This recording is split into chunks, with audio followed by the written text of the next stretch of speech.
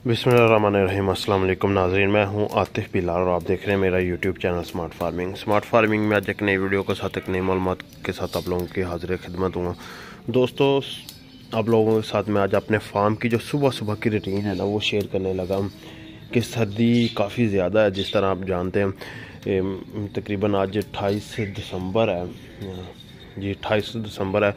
और सर्दी की जो शिद्दत इस वक्त पड़ रही है ना, वो काफ़ी ज़्यादा है जो हमारे एरियाज़ में है।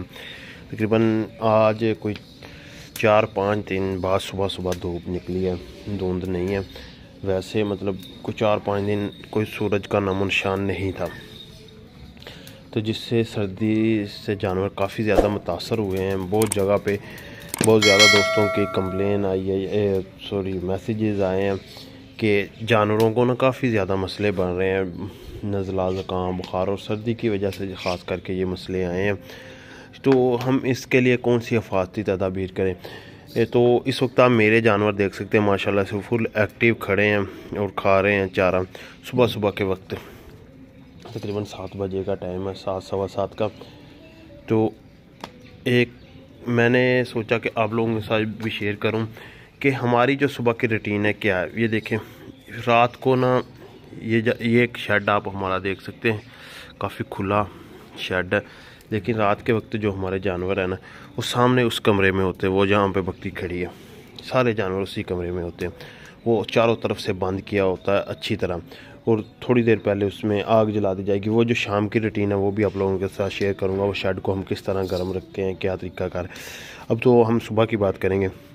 सुबह वक्त जब जानवरों को निकालना होता है, कुछ उससे कुछ देर पहले हम इस शेड में, जिसमें जानवरों को निकालना होता है ना, ये हमारा शेड है, इसमें खुरलियाँ, हर एक चीज़ इसमें मौजूद होती है। यहाँ तक कि अभी पानी का टॉप नहीं आया, पानी का टॉप बच्चे हर एक चीज़ इसी शेड में होती है, ये हमारा मेन शेड है, बकरियों। उसमें हम आग जला लेते हैं, तकरीबन आग जलती रहती है थोड़ी थोड़ी देर बाद इसमें, हम इसमें आग जलाने के बाद थोड़ी देर बाद बकरियाँ निकाल देते हैं। एक तो इस शेड का जो टम्परेचर है ना, वो बेहतर हो जाता है जो रात को सर्दी की वजह से होता है। धुआँ, ऊपर ये देखे, छत की तरफ़ धुआँ धुआँ आपको नज़र आ ये जो धुआँ जा रहा है ना, ये इनकी दीवारों को जो ठंडी होती है ना, उनको गर्म करने में मदद देता है। और दूसरा, इस शेड का टम्परेचर बिल्कुल मेनटेन हो जाता है। दो चार दिन जो सर्दी पड़ी है ना, उसमें भी यही रूटीन रही है। इससे काफ़ी ज़्यादा माशाल्लाह फ़ायदा हासिल हुआ। वो तो सारा दिन ही फिर आग जलती थी, लेकिन अब जब अच्छी खासी धूप हो जाएगी ना बाहर, ये जो हमारी आग वाली हमने भट्टी है ना, ये उठा के ना, हम वो सामने वाले शेड में शिफ्ट कर देंगे, क्योंकि रात को वहाँ भी आग वगैरह जलानी होती है। तो एक बार इस रूम का टम्परेचर जो मेंटेन हो गया, दूसरा जो सुबह सुबह के वक्त हम जानवरों को डाइट दे रहे हैं, अभी तो बचा हुआ वो चारा खा रहे हैं जो खुलियों में बचे। अब इन्हें थोड़ी देर में साफ़ करके यहाँ पे टीएमआर का इस्तेमाल किया जाएगा।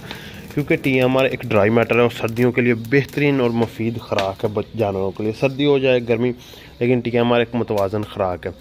सर्दी में आपने जिन बातों का ख्यास ख्याल रखना है, एक अगर आपने शेड में आग जलानी है तो ख़ुद उनके पास होना ज़रूरी है। ये नहीं कि आग जला के चले जाना, क्योंकि बाज़ अकात जानवर की कोशिश होती है कि वो आग के पास आके खड़ा हो।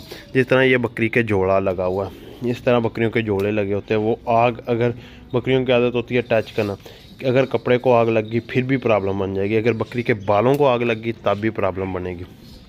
अगर आपने शेड में या फार्म में आग जलानी है, कोशिश करें कि उसके पास खुद भी बैठे, खुद भी सर्दी से बचें और जानवरों को भी बचाएँ। ये ना हो कि आग जला के आप चले जाएँ और बाद में आए तो देखें जानवरों का नुकसान हुआ हो, किसी जानवर ने बाल जला लिए हो, किसी का कुछ जल गया इन चीज़ों का ख़ास ख्याल रखना है आप लोगों ने। अगली चीज़ आ जाती है कि खुराक। मेन चीज़ खुराक है। अगर सर्दी में आपके पास खुराक की रिक्वायरमेंट पूरी है ना, कि आप अच्छी खुराक दे रहे हैं जानवर को तो तकरीबन 75 परसेंट चांसेज है कि आपके जानवर को सर्दी नहीं लगेगी। बाकी जो, अगर आप इस तरह के मतलब तरीक़ेकार कर रहे हैं, बाकी ये आग वगैरह जला के इनको बंद कमरों में रख से बाकी सर्दी में वो क्लियर करेंगे। अलहमदिल्ला सर्दी से काफ़ी ज़्यादा मतलब कोई नुकसान मेन नहीं हुआ, हमारे भी जानवरों में एक दो में मसला आया था, लेकिन फौरी क्लियर कर लिया बुखार का। उसके बाद हमने ये तरीक़ेकार इस्तेमाल किया ये आग के ये शेड में बंद रखना सारा दिन।